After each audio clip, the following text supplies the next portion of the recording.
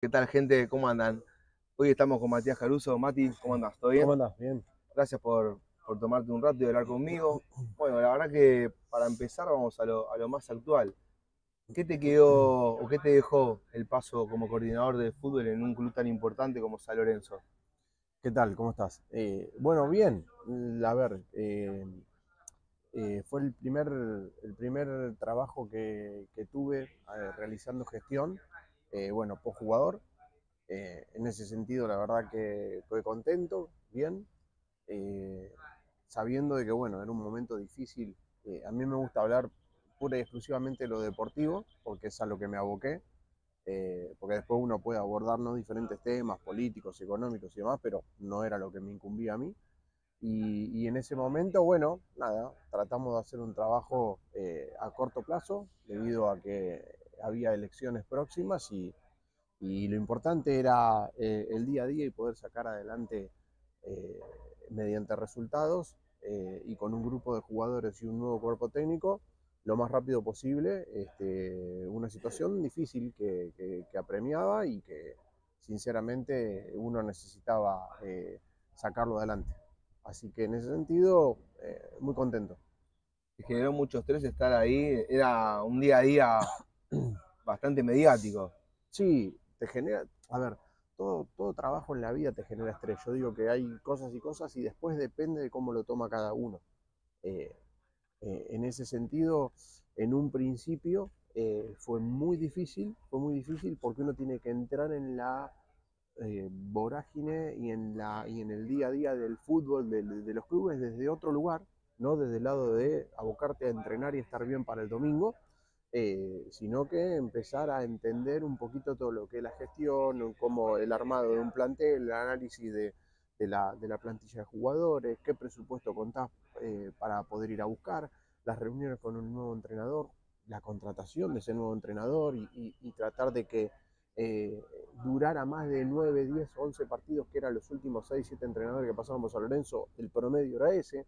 Entonces, todo llevaba su, tiempo muy demandante y después yo creo que en la medida que uno se va acomodando lo vas tomando de manera diferente, siempre sabiendo, como somos nosotros en el fútbol argentino, de que dependes mucho del resultado y hay muchas cosas que quizás uno puede ir haciendo en el día a día que a la gente no le llena, no le sirve, eh, pero que internamente suman y mucho.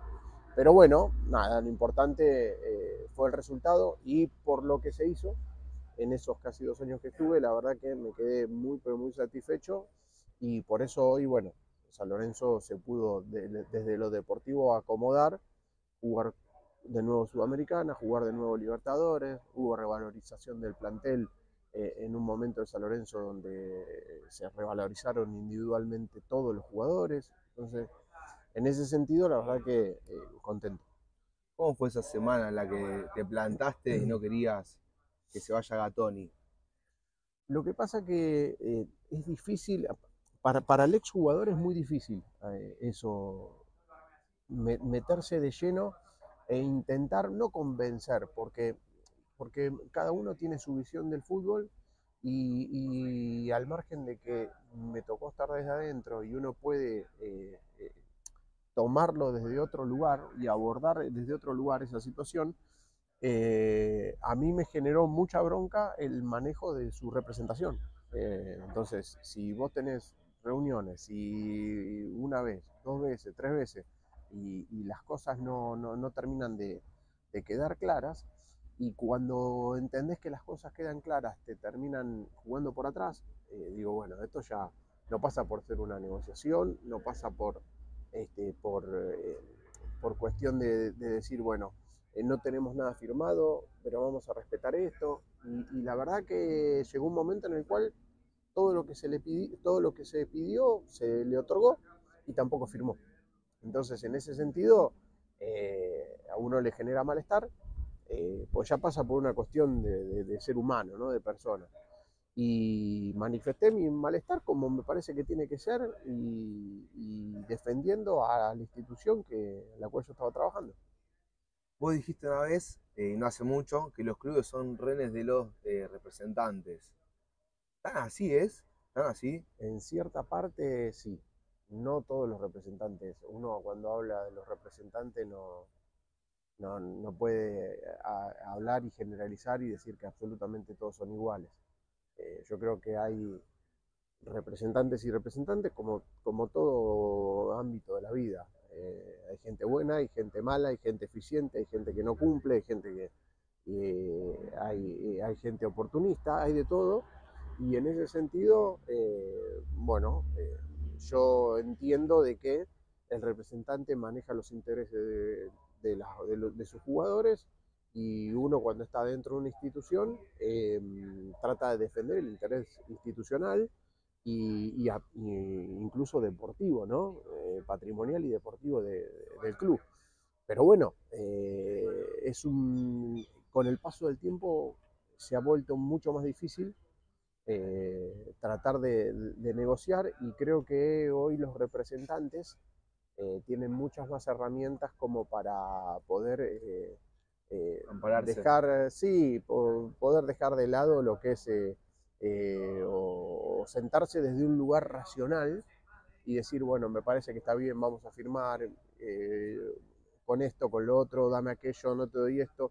Y, creo que esas herramientas son bien utilizadas por ellos y para sus representados tenías trato con Lombilla, que es un representante bastante cuestionado por, por el hincha San Lorenzo y el socio. Yo, a ver, cuando hablas de Lombilla, Lombilla son varios. Eh, por ejemplo, está Patricio y está Marcelo. Y después está el hijo de Marcelo, eh, que también se llama Marcelo, es medio un lío. Eh, cada uno trabaja eh, por su cuenta, no, no, creo, no sé, no, es un tema familiar, creo que no tienen relación o si la tienen no, no es buena, eh, pero tienen diferentes jugadores, representan diferentes jugadores. y en ese sentido, eh, a mí me pasó de tratar de tener muy buena relación con Patricio y bueno, terminar muy mal con Marcelo por el tema Gatoni. Fue incómodo en época de elecciones escuchar a un Ortigosa, un amigo de, la infancia que, ataque como estrategia para ver si agarraba votos? La, verdad que fue raro. Fue raro porque no. Te lo dice alguien que sabe que estuvieron juntos casi toda la vida. Sí, nosotros nos conocemos de los nueve años. Em, siempre, bueno, hemos compartido no solo argentinos, sino salonense central y muchos años de infantiles y juveniles en argentinos. Hicimos toda la vida. Toda la vida. Eh. yo creo que él, bueno, decidió meterse en la política. La política a veces te lleva por caminos difíciles y, fue una decisión de él. Yo públicamente no dije ni voy a decir nada y todo lo que tenía que hablar lo hablé con él nos encerramos en un vestuario, nos dijimos las cosas que nos teníamos que decir, le di media vuelta y me fui a mi casa. Eh, entonces, en ese sentido, yo no soy una... Mira, yo hoy tendría, tendría una gran posibilidad. Es sentarme en cualquier programa a contar y decir todas las cosas malas o, situaciones que han pasado eh, desde diciembre hasta ahora en San Lorenzo. Y no lo hago porque yo no soy así. Eh, y la verdad que en su momento, escucharlo a él hablar de que la gestión no era buena eh, y que se terminaba el club de amigos y que una cosa me hizo mucho, me, generó mm, no malestar, sino un dolor, porque digo, la verdad que no, no terminaba de entender. Yo digo, bueno, eh, será así, optó por, por esto, es su carta, es su ficha, está, está todo bien y después cuando, cuando pasa el tiempo y vos empezás a ver que decís, bueno, la gestión no es buena, pero renuevan al entrenador. La gestión no es buena, pero trajeron de vuelta a Bombergar. Eh, quisieron traer de vuelta a Jalil Elías. Eh, entonces digo... Se contradicen. Raro, raro. Y la gestión es buena, pero renovemos a Vareiro. Y yo digo, qué fue lo que pasó? Pero bueno, eh, y aparte, nada. Nadie resiste el archivo, nadie, nadie. Resumir, resumir todo en que la gestión no es buena y San Lorenzo clasificó a Sudamericana el primer año y clasificó a Libertadores el segundo. Digo, bueno, entonces, ¿qué, ¿qué, será ser buena eh, la gestión? Pero bueno, nada. Yo hoy podría recoger el guante y sentarme a hablar de, lo, de todo este momento del club y no lo hago, no lo hago primero porque yo no soy así. Y segundo, porque está ahí un club en el medio y que yo respeto y que no, no, no lo merece. Vos como jugador, ¿te imaginabas que era tan movido este tipo de cargos, estar eh, al mando de, de, una, de, una, decisión tuya que, bueno, puede recaer como buena o mala después con la famosa si la pelota entra o no entra? Sí, yo... ¿Ya te gustaba yo, eso? No, no, a ver, a mí no me gusta la política. Vamos, vamos a partir de esa base. No, no me gusta la política, la veo sucia, la veo eh, eh, desleal. Y siento que la política eh, de Estado, la política nacional, está instalada hace mucho tiempo en los clubes y que no genera nada bueno. Y si lo genera, la verdad debe, debe ser muy poco porque uno no lo nota. Entonces, en ese sentido, a mí no me gusta, no me gusta para nada la política. Respeto a, los políticos, y hay muchos políticos de bien, ¿eh? o sea, no, te digo, no, no metamos a todos en la misma bolsa, porque yo conozco gente y gente que es laburadora y que quiere lo mejor y una cosa y la otra, y después tener todo lo otro. Eh, pero bueno, después el día a día de los clubes, yo sé que es difícil, yo sé que es 24 por 7, eh, estando en el lugar o yéndote para un lado o reunión en el otro, o hotel, o eh, tomar decisiones si quién viene de entrenador, quién si hay que sacarlo, eh, el armado del plantel. Bueno, es un tema y, a nosotros, por lo menos a mí, hablo por mí, lo, que, lo que me genera, lo que es difícil de, de, manejar y a veces la gente no lo entiende, es el tema de que eh, vos dejaste de ser jugador de fútbol y el teléfono no suena más. Mamá, papá, tu señora, tus hijos, eh, amigos y bueno, baja la espuma. Y de golpe y porrazo te toca algo asumir en un, en un rol o, en, o, un laburo importante y de golpe tenés como la obligación de atender a todo el mundo. ¿Mucho representante? No, representante, eh, notas con periodistas y llamados de afuera y clubes y una cosa y la otra y te doy esto y dame lo otro y fíjate porque nosotros ya habíamos hablado. Ahí, en San Lorenzo en un momento en el cual abrías un cajón y tenías un problema. Eh, entonces, que ya venía ese problema de, de, de antes. Eh, entonces, nada, uno entendía de que el trajín diario era difícil y aparte abordar con, con, temas donde yo eran las once y media, doce de la noche, estaba con el teléfono en la cama y mi mujer me decía, andate, andate abajo, eh, andá a laburar abajo, o sea, son las 12 de la noche o cortá. Porque pero lo si estaba no, disfrutando igualmente. Sí, sí, pero es empezar, eh, o sea, es como abordar algo nuevo que uno cree que puede ser de una manera y que te tenés que preparar para eso, pero después el día a día, por lo menos acá en los clubes de Argentina, es como eh, te tenés que encargar de la contratación de un jugador, de renovar otro, de mandar a préstamo otro y de golpe te vienen y te dicen, bueno, no hay jabón en las duchas. Y yo digo, ¿y yo qué tengo que ver? O sea, eh, y los clubes argentinos, Sufro te estoy poniendo un ejemplo, no es que a mí me pasó puntual, ¿eh? pero hablando con diferentes managers y una cosa y, la, y, charlas que, que, uno va teniendo, dice, no, vos sabés que a mí me pasó esto, bueno, a mí también. Y no, y, claro, y, y, cómo resolviste esto? Y cómo... Entonces, hoy en día, yo creo que hay un grupo de jugadores, de exjugadores, perdón, que se retiró en su momento, en el cual creo que se ha conformado como un núcleo de ayuda eh, en esto de lo que puede llegar a ser la gestión, la secretaría técnica, eh, gestión institucional o individual a deportistas, a jugadores de fútbol. Eh, y que me parece que está muy bueno y que nosotros debemos aprovecharlo. ¿Vos bancás que el futbolista se meta en la política del club o que compre un rol como el tuyo, que era coordinador? No, cada uno elige su... Yo creo que hay gente capacitada para, para asumir un rol presidencial o de vicepresidente o de vocal primero y hay gente que no está capacitada. Es un poco de todo, entonces... Porque eso se ve, lo que está diciendo vos. Bueno. Que se nota, no voy a dar nombres, pero hay gente que está eh, en un cargo importante y no puede decir más de 20 palabras porque tiene las mismas. Yo digo que, mira, yo, yo soy sincero cuando, cuando, cuando hablo y no es porque está la cámara ahora, ni podemos hablarlo en un café o donde vos quieras, que yo voy a decir siempre lo mismo hay gente que está preparada y hay gente que no. Y vos podés hilvanar 20, 30 palabras y, y, y, decirlas de manera correcta o no.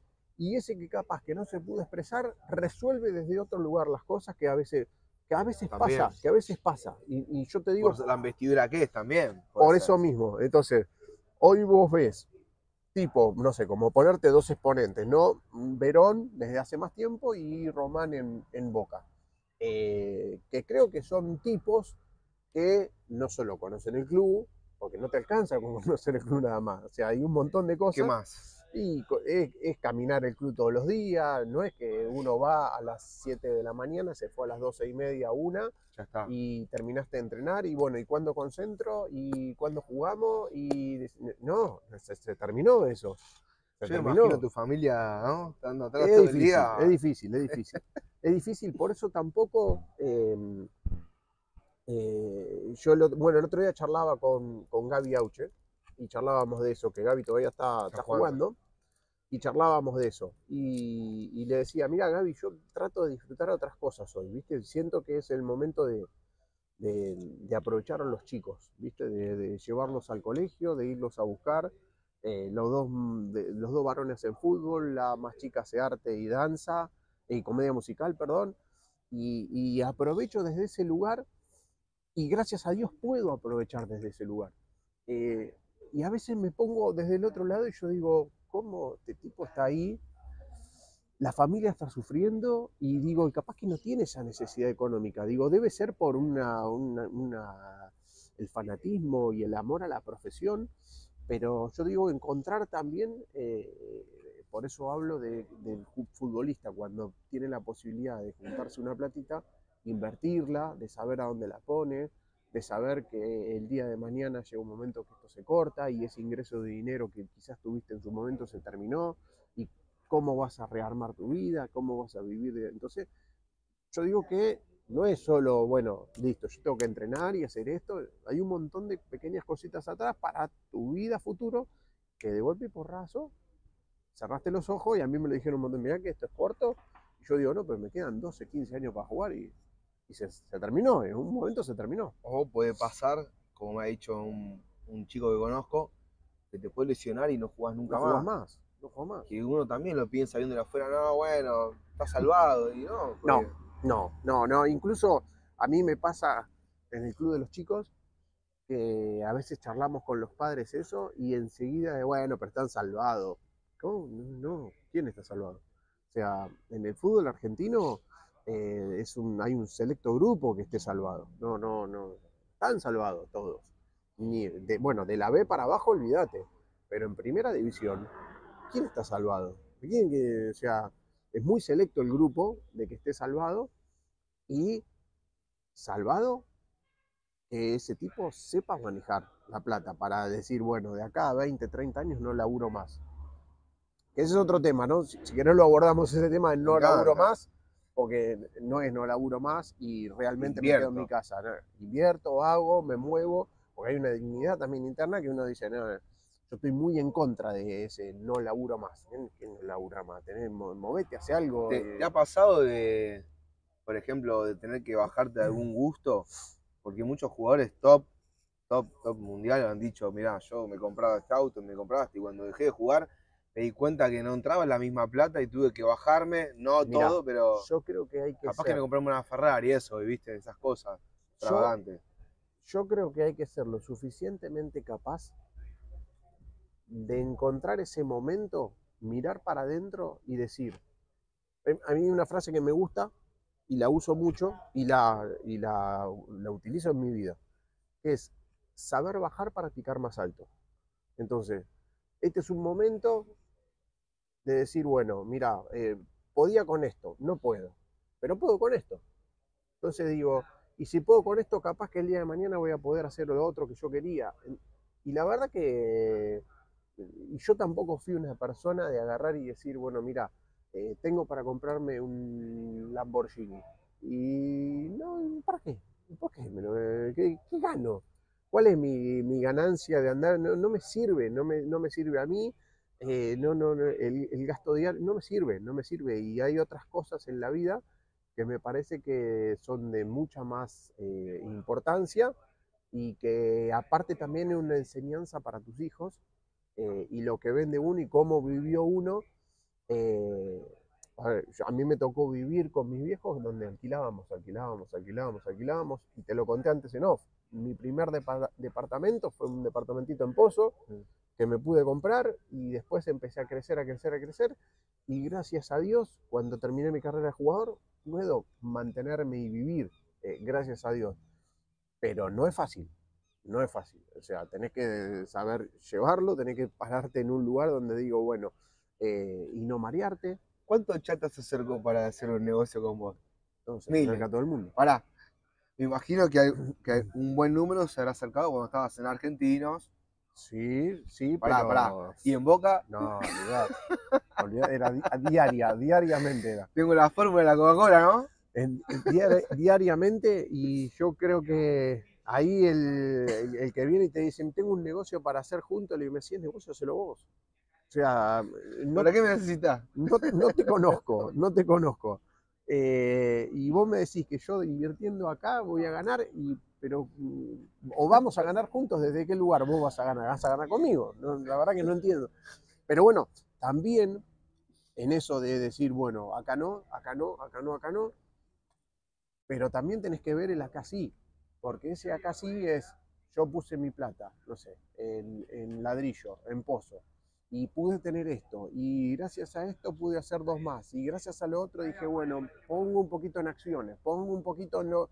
en- en- en- entonces, diversificar. ¿Te fuiste capacitando para hacer eso? Sí, pero no, no, no hice cursos ni nada por el estilo. Eh, yo la verdad que desde, desde que, bueno, hace mucho tiempo que me, nada, contraté mi contador y mi contador es el que me maneja todo y me interiorizo absolutamente de todo porque es mi plata y yo quiero saber absolutamente todo. Mi contador a veces se ríe porque cuando vamos a hacer la, presentación y la reunión previa a la presentación de declaración jurada, me dice, yo ya te tengo todo preparado, pues sé que me pedís todo. Y me lo llevo porque quiero saber cuáles son las deducciones, cuáles son mis gastos, cuándo fueron mis entradas, en qué, en qué se puede hacer percepciones y en qué no. Entonces, quiero saberlo y me gusta interiorizarme sobre eso. Y creo que es una manera también de que el día de mañana uno esté capacitado mínimamente, por lo menos en decir, che, bueno, acá me conviene, acá no, acá no podés meter todos tus ahorros en un lado y en ese lado perder todo porque te diste vuelta y decís, bueno, todo lo que hice lo perdí. No, no, no, no está bueno. Los pibes que vos viste como jugador y también como, como coordinador, ¿ves que tienen eso, esa cultura de empezar a, a marrocar como para comprarse algo o Hay-? Hay de todo, hay de todo. Yo he tenido compañeros que eh, tenían dos, tres coches y salía un coche la semana pasada, a la semana que viene y se compraba Mirá. ese coche. ¿Sabés que se me a la mente? Eh, el Gordo Níos hace un tiempo dio una nota, dijo que en un año cambió 11 autos Bueno, y sí, hoy en día, bueno, tiene que, tiene que laburar, se toma el colectivo, que he hablado con él. pero eso también, eso también pasa, a ver. Y él dijo que eh, si hubiese ahorrado tendría 10 departamentos en, en ¿cómo es? sí, Puerto Madero. Está bien, pero si hubiese, si hubiese ahorrado y el tema es, la pregunta es, ¿cómo hubieses ahorrado? ¿Desde qué lugar hubieses ahorrado? O sea, porque yo no creo que él te diga, mira, si yo hubiese ahorrado, bueno, no, no, no me tendría que haber comprado, no sé, 10 coches en un año. Listo, bárbaro, está perfecto. Pero ¿qué hacías con esa plata si no te comprabas 10 coches? ¿Dónde la metías? algo, no sé. ¿Dónde la ¿Qué hacías? Una- por poner un nombre, de, de- de Leo, Sí, sí, sí. ¿entendés? No, pero Eh, mente porque justo fue compañero tuyo. No, tenés de todo, yo digo que tenés de todo. A mí, por ejemplo, en, en su momento, en Argentinos, eh, se te acercaban algunos de los muchachos más grandes y enseguida te, te iban diciendo, fíjate, eh, porque a vos te puede ir bien, porque podés poner la plata con esto, ojo, cuida tu guita, eh, fíjate lo otro, y son campanas. Y está el que la escucha y está el que no la escucha y que vive el momento y que también est- está en su derecho. Ahora, en ese derecho que viviste el momento, eh, después no, no- no te dé vuelta y decir, tampoco uno un amarrete, ¿no? Pero yo lo que te quiero decir es, si, si en ese momento eh, la usaste para acá y salía un auto y te lo comprabas y aparecía y te gastabas todo en ropa y no andabas con nadie, pero aparecía una mina que se te rima, porque también te pasa eso. Y hay muchos chicos que en su momento, a mí me pasó, no voy a dar el nombre, en- en- estando en otro club, tampoco voy a dar el nombre del club, porque si no, enseguida, imagino, ya me lo enseguida imagino. y el pibe me dijo, mira, yo vengo de la provincia y la verdad que me, me están apareciendo estas cosas y me lo tuve que agarrar, me lo tuve que llevar y yo dije, no, pero escúchame, no viene por acá, no viene por acá, no es por ahí. Eh, Viste, tené cuidado porque aparte también merma su, su- su capacidad eh, futbolística. Sí, le, le repercute lo emocional. En todo, en todo, ¿viste? Y, pero bueno, es un tema, yo digo de que la carrera de jugador de fútbol es jugar al fútbol en primera división es un sueño recontra cumplido, tiene un montón de pro y algunas contras, pero esas contras son contra bravas. eh, y que si no las sabes manejar, Un top 3. no, yo digo, eh, top 3 de, de contras es, eh, a veces, eh, a mí me pasó aislarte de la familia. Porque te, ¿Por lo laboral o porque Por laboral, no, no, no, por cuestiones laborales. Concentrar, cuestiones laborales, viajes. viajes, concentraciones, no estar en cumpleaños. eh, a veces, nada, familia te dice decir, bueno, eh, ¿cuándo estás? A ver si podemos festejar el cumpleaños de tal nene, de tal nena, de un sobrino, de mi tío, de... Y yo digo, bueno, también no, no se preocupen y, viste, eh, eso. Después, otra contra grande, a mí por suerte no me pasó, es el hecho de que mm, sos muy chico y de golpe estás en el estrellato y en ese estrellato no marearte. te la creíste en un momento? No, a mí gracias a Dios no me pasó porque yo fui haciendo mis cosas de a poquito. Por suerte, mm, con mi mujer nos conocemos de los 14 años y creo que eso para mí fue un montón de ayuda, un montón de ayuda. Y, y a veces eh, los chicos, esos que se, que se marearon o que se encontraron en un lugar donde miran para un costado y no tienen esa persona al lado que les pueda dar una mano, eh, no son culpables de estar ahí. Pero bueno, eh, te pasa y cuando sucede es difícil, eh, es complicado y, y terminás estando en un lugar donde quizás un amigo o, un, o tu papá o tu mamá o lo que sea te ven y te, te ven lejano. Y vos decís, no, pará, ¿qué- Claro, ¿Viste? soy el mismo de siempre. Claro, ¿viste? Entonces es difícil. Eh, a veces idealizan al jugador de fútbol y el jugador de fútbol, cuando se ve idealizado, pareciera que es intocable. Y es un, ser humano normal, eh, que, que- que- que toma mate, que se sienta a tomar café, que, que, que nos sentamos Uno lo asado. idealiza y le pasa la misma cosa que a vos, Olvídate, totalmente, por más que tenga capaz la cuenta llena. Porque, totalmente. porque uno piensa eso, por eso idealiza también, ¿no? Como que hay mucho prejuicio en todo ámbito. A mí, me- a mí me pasa de que, por ejemplo, te dicen, bueno, no, no sé, eh, en un country viven todos los ricos y son intocables. Y yo digo, pero si hay gente de bien, hay gente que labura, hay gente... Y en la villa no puede entrar porque te van a robar. Pará, ¿qué, qué- hay No más es- trabajadores. Claro, yo no. digo, y tenés gente recontra, re bien, en un lugar humilde, eh, y laburadores que se rompen el orto, por decirlo así, todos los días, y, y termina encontrando más gente leal en esos lugares que en otros. No me extraña. no me Entonces, extraña. l- viste, Eh, pero bueno, nada, eh, nos fuimos por las ramas, eh, porque es la vida No. también, y, y la verdad que en ese, en ese sentido, eh, eh, feliz de haber vivido lo que me tocó vivir como jugador, y entendí que se cierra una etapa y empieza otra.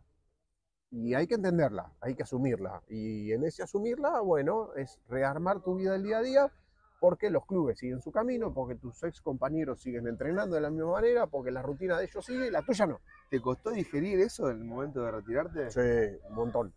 Yo me retiré y yo tendría que haber jugado un año más, mínimo. Mínimo. La rodilla. por la rodilla. Yo me golpeo con Fausto en cancha de estudiantes, que ganamos 1 a 0 con gol de Battaglini. Y desde ese día no pude, sí, no pude volver a jugar, no pude volver a entrenarme de la mejor manera.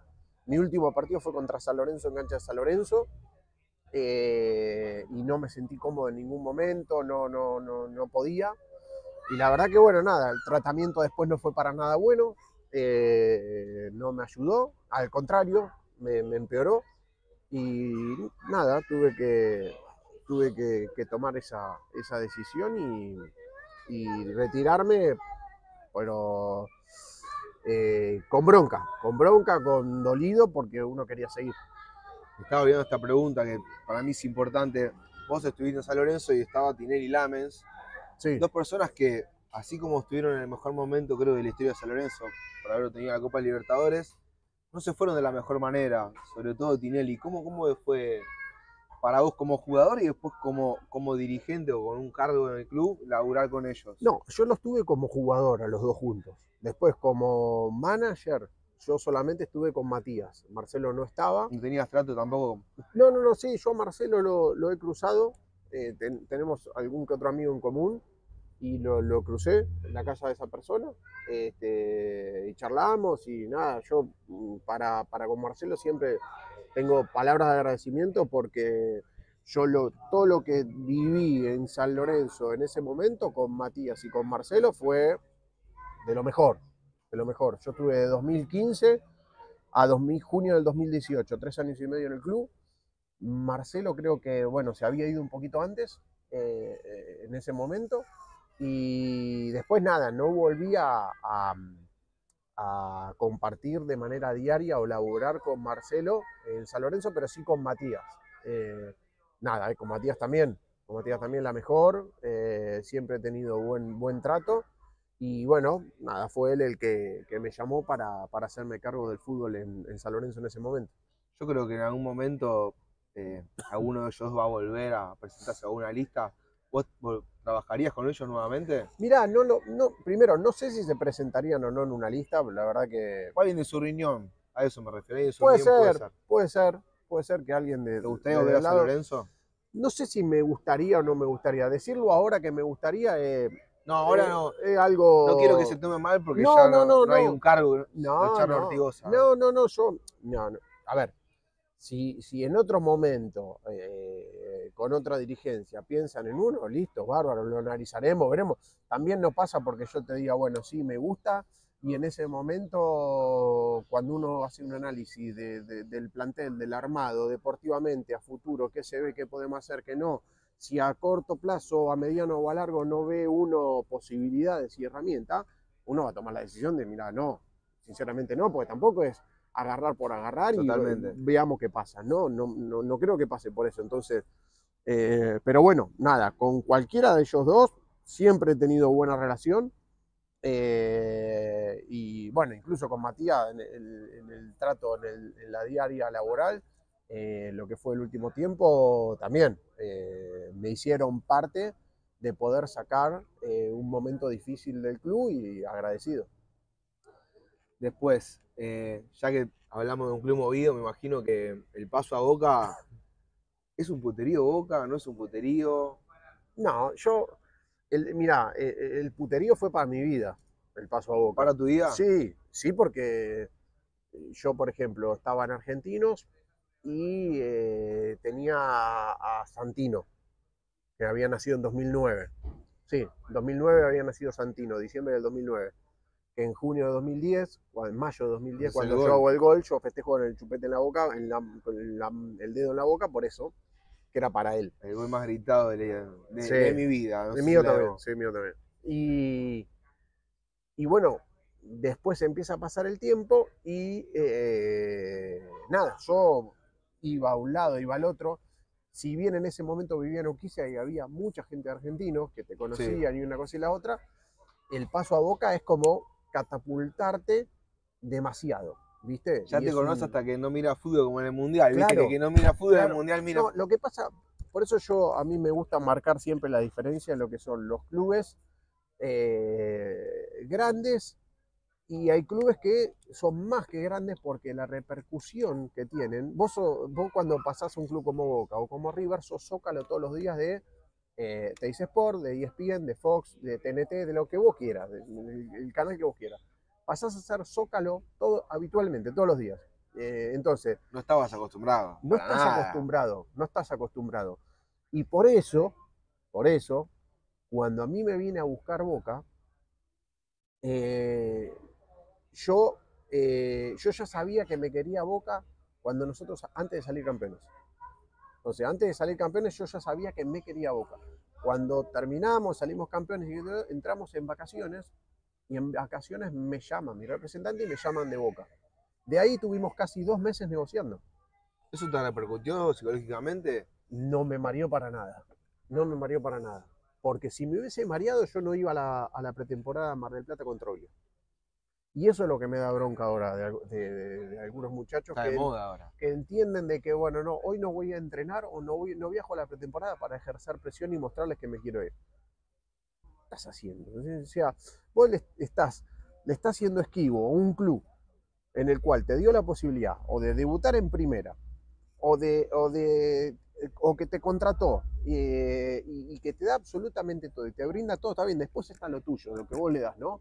Pero al margen de eso tenés que pararte en un lugar y decir, bueno, yo tengo que ser leal con este club. Después a mí si me fallan o no me fallan. Y si vos no, vamos a hacer de cuenta, yo no voy a la pretemporada con Argentinos contra Olio.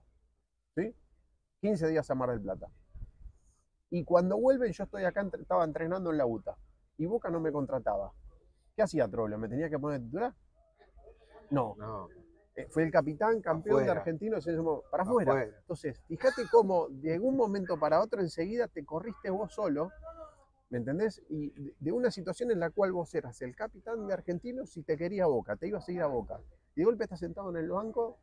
Entonces digo, empezar, eh, eh, traté de entender absolutamente todo y en ningún momento, tampoco mi representante me lo planteó, ¿eh? que, me, que me haya dicho, bueno, no, no viajes a la pretemporada. No, pará, no, nunca me lo planteó. Yo viajé y no me olvido más. El día que volvimos de la pretemporada estábamos con el micro entrando a Capital y me dijo, ya se hizo todo, mañana hacemos los estudios. Dije, bárbaro, yo ya estoy, entrené, hice mi pretemporada con, un plan, con el plantel profesional, listo, me toca despedirme, saludo, abrazo a todos, gracias a Dios le pude dejar plata al club y buena plata al club y en ese sentido se cerró todo para bien y yo seguí mi camino, que creo que es lo que tiene que ser.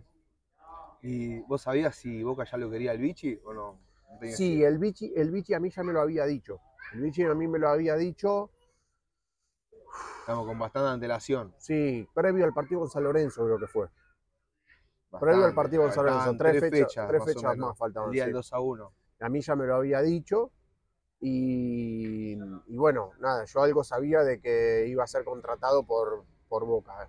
Y mismo, bueno, nada, yo teníamos, todos teníamos muy buena relación con el cuerpo técnico y también se van filtrando pequeñas cositas.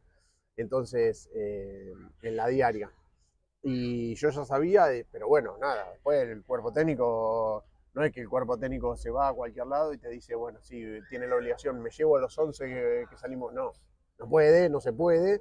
eh, pero bueno, sí, yo ya lo sabía y eh, por suerte, gracias a Dios, todo se dio en, en- primero en buenos términos y beneficioso para, para mí y para el club. ¿Es cierto que casi trabajo con Artigosa Boca? Sí, porque eh, Vichy nos había dicho que nos quería a los dos. Eh, creo que fue posterior al partido con Independiente. 4-3. Eh, me parece, no me acuerdo bien, la verdad que si- pasó, pasó tanto y si tiempo. lo fueron que- a ver ese día, fue excelente. Ahí, Sí, cerra- ahí yo no eh, Yo no creo, yo no creo que desde un club del fútbol argentino necesiten ir a verte puntual. Yo creo que eh, lleva, por ejemplo, Bo- Boca o River. San Lorenzo, Independiente, Racing. Yo digo, debe ser de un tiempo para acá donde vos tenés buena referencia, lo vas viendo, te lo enfrentaste en alguna que otra ocasión, entonces ya tenés como un panorama. Sí, los clubes de afuera, cuando te vienen y vienen a ver un jugador, sí, obviamente, vienen a la cancha. eh, pero bueno, nada, yo tenía, tenía eso. Creo que lo de Néstor fue que se recuperó Bataglia. Seba Ah, Bataglia ah, se vale, recuperó del rodillo, del de la- rodillo. del- no del tobillo, perdón. Y bueno, eh, nada, no, no, no, creo que Boca no, no lo contrató por eso. ¿Y cómo fue el paso a Boca, jugar con Riquelme? eh, Y fue un- todo como eso. ¿Te fue como cambió un todo? cambio, sí, todo, absolutamente todo. Pero totalmente. Yo creo que hasta cuando vivías en un edificio sabían que había un futbolista capaz, pero después ya sabían quién mí- es. quién claro, es. claro. A mí, a mí lo que me pasó fue, yo cuando llego, yo me hago el- la, la- la revisión médica y al otro día firmamos. Cuando firmamos al otro día, Boca, el plantel entero, eh, se había ido a, de pretemporada a Australia y Venezuela. Eh, Australia y Nueva Zelanda, perdón. Bueno, eh, ¿qué pasa? A mí me dijeron, bueno, mira, si está todo bien, firmamos, tenés el vuelo a la noche solo. Pero en el mientras tanto, en estos dos, tres días que estás acá, vas a entrenar con los que se quedaron acá. ¿Quiénes eran los que se quedaron acá? Se había quedado Gary, Gary Medel, Bonilla, que creo que se iba en ese momento, estaba arreglando su salida, eh, Seba Bataglia, Palermo y Riquelme. Entonces yo dije, Soñado. bueno, bárbaro, buenísimo. Y de golpe en mi primer entrenamiento entreno y una cosa y la otra, Román estaba creo que con lo de la fascitis plantar, estaba Sí, recuperándose vi de loco, eso. mucho tiempo. Entrené con algunos chicos de la reserva, y no sé qué, y cuando me voy a bañar me, me encuentro en el medio de Martín y de Román, en la ducha de en Casa Amarilla. Entonces ya uno dice, bueno, ¿cómo de, de- de pasar a, a- a estar en el vestuario de la UTA con gente que uno veía todos los días, Jodiendo todo todos el los días, tiempo. todos los días? Y bien, uno estaba con Caldera, estaba con Nico Pablo y Fede Domínguez, todo en ese momento que eran, eran tipos que a nosotros no- no- nos hacían muy bien. De golpe, vestuario de Casa Amarilla con, en una ducha Román y en otra la ducha Martín. Entonces digo, fue como mucho y por eso también te marcaba la, la vida, el día a día de la vida, de que, de que nada, eh, te- tenés de todo, tenés Sí. de todo. Si bien no, no sos salidor, creo, sos como, eras más tranquilo, ¿te empezaste a cuidar un poco más? No, saliste No, Boca? no, no, no. Yo siempre fui de la misma manera. Eh, yo tenía, estaba en novena y teníamos un partido un sábado a las 12 del mediodía y si había un cumpleaños de 15 de una muy, muy amiga mía o lo que sea, eh, le decía a mis viejos me vengan a buscar a 12 y media una. Y me venían a buscar 12 y media una. Si iba, Siempre tuviste en claro que querías ser jugador de fútbol. ¿no? Siempre, Siempre. Siempre. Mira, hace poco, va, hace poco, hace ya un par de años, nos reencontramos con los chicos de la primaria, en un- que tenemos un grupo de WhatsApp, y uno de mis, eh, bueno, amigos, ¿no? También porque lo conocí, hicimos siete años de primaria juntos, me lo dijo. Yo no me olvido nunca más que, que vos me decías, hay que hacer esto para llegar y jugar al fútbol en primera, y yo, uno se va olvidando de esas cosas, ¿no? Con tantas cosas que va viviendo, y yo le dije, le digo, ¿cómo te acordás de esas cosas, no? Que, pero bueno, era una manera, un estilo de vida, una manera de, de ser, de vivir, y no modifiqué nunca mi, mis formas. O sea, eh, si, si ganaba y mi señora me decía, salimos a comer esta noche, bueno, vamos, salimos. Si perdía esa noche, esa cena se cancelaba. Y no es que se cancelaba porque yo digo, o me van a decir algo, o no, no tengo ganas, no estoy de ánimo, y lo viví siempre igual. Lo mismo viste con San Lorenzo, ¿no? Sí, También. sí, también, también, también, pero eh, muy similar. eh, Y no me quiero imaginar Central. no, bueno, Central es otro mundo. No, no, no. Un club de la puta madre.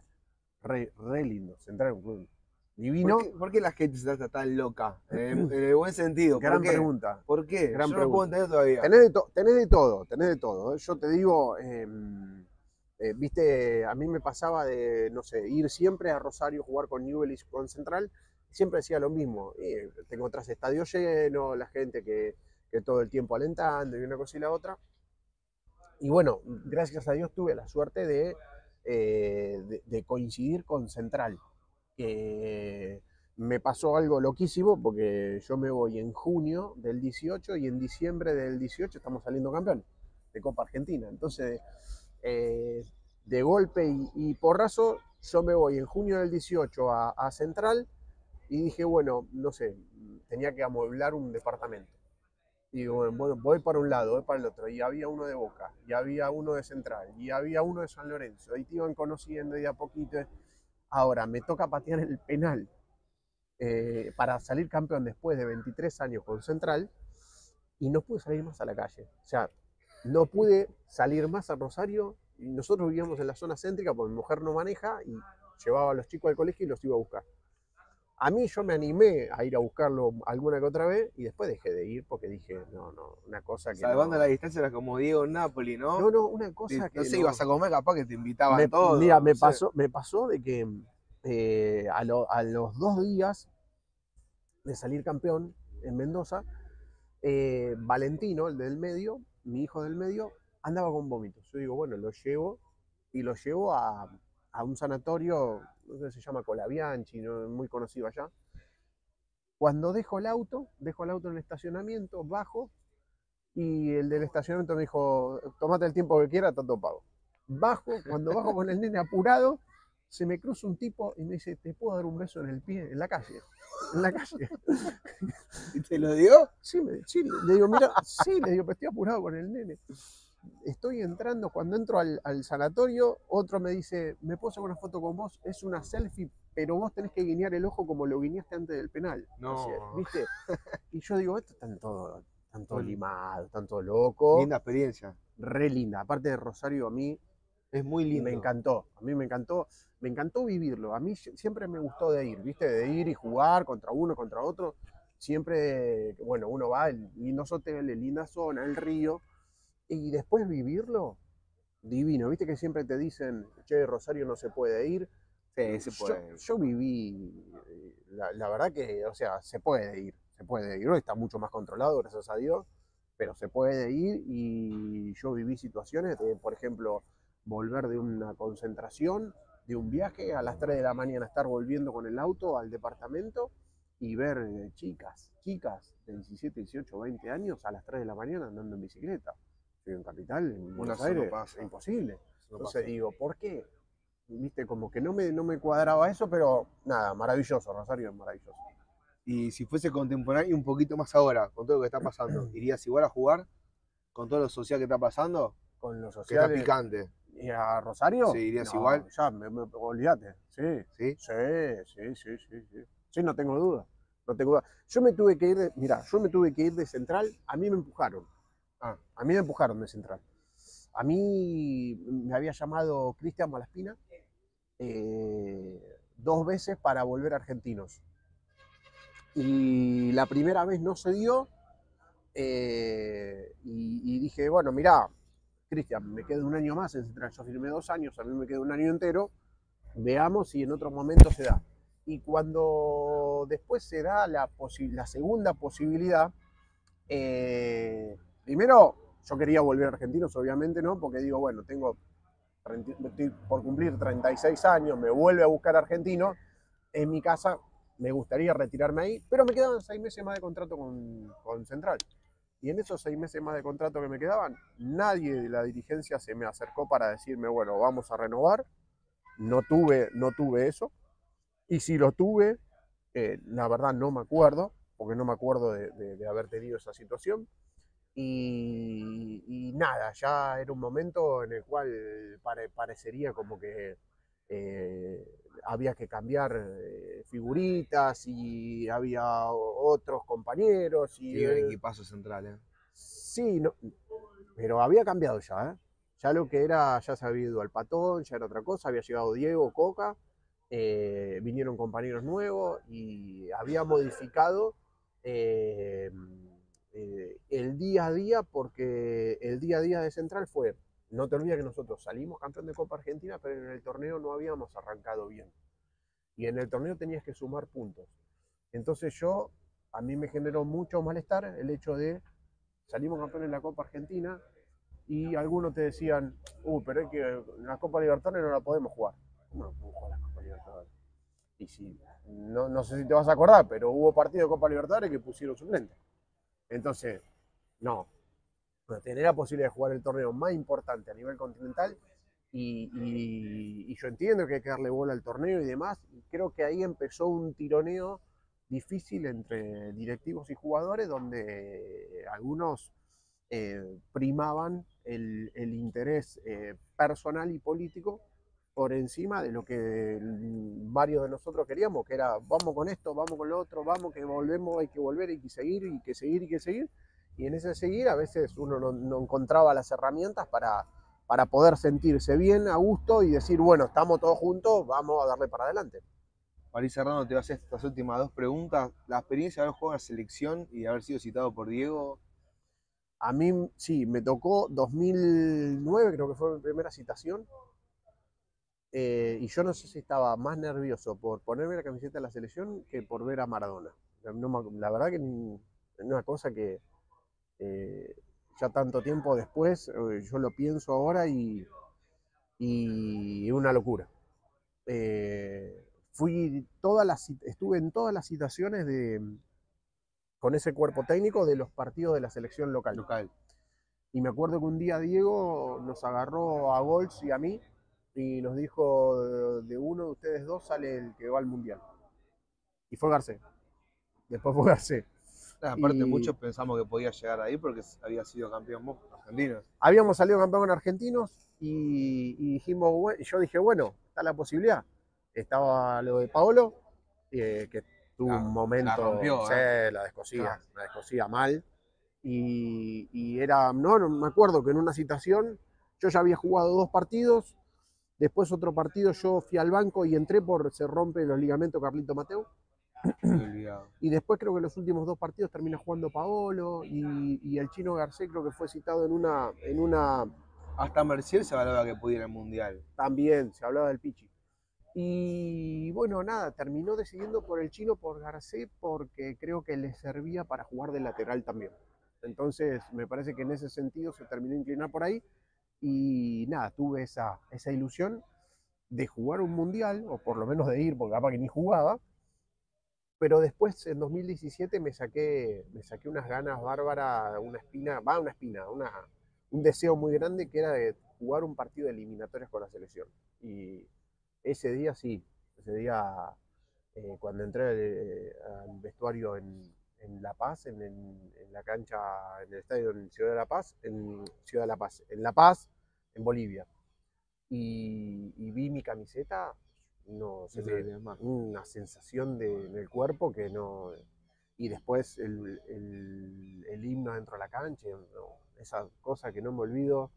Viste, cuando vos decís, eh, no, no, no puede ser, no puede ser, bueno, no me lo olvido en mi puta vida. La verdad que eso es imborrable. Así como dijiste, no puede ser. eh, muchos pensábamos en el 4-3 con Independiente, que bueno, quizá para muchos es como uno se va a acordar que estaba haciendo ese momento o dónde estaba. ¿Qué sentiste vos en ese momento? Creo que más de uno sentíamos que estábamos muriendo. Yo no, ¿O tomaste dimensión después? No, no, no, no. En ese momento yo, como que, viste, uno no, no termina de entender. Cuando nosotros termina el partido, yo vi compañeros llorar adentro del vestuario. Entonces yo, Todo- estaba todo el estadio llorando. viste, y, y hay una, una anécdota que se la cuento eh, a, a un amigo que es el rusito, que hizo el, el libro de Dioses Sí, lo Argentinos. conozco. Bueno. Hernán.